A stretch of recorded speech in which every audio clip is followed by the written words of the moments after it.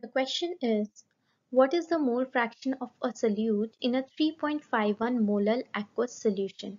So in this question, the molality of the solution is given and we need to calculate the mole fraction of the solute. So for this, first we should know that what is molality. So molality is number of moles of solute number of moles of solute in 1 kg of solvent. 1 kg of solvent. So it means that if the molality is 3.51 molar then means that 3.51 moles of solute will be present in 1 kg of solvent. So this means that number of moles of solute is moles of solute is 3.51 right? Now we need to calculate the number of moles of solvent. For that the weight of solvent which is given as weight of solvent is 1 kg which can also be written as 1000 grams.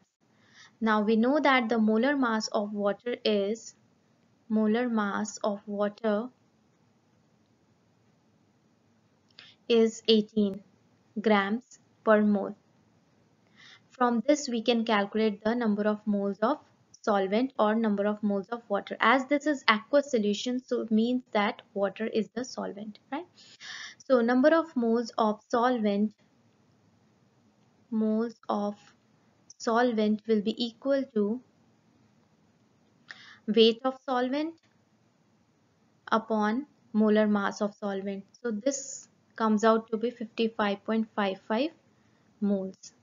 Now we know the moles of solvent, we know the moles of solute. We can calculate the mole fraction. So mole fraction of solute will be equal to moles of solute upon moles of solution. So this comes out to be 3.51 upon solution is solute plus solvent. So 3.51 plus 55.55.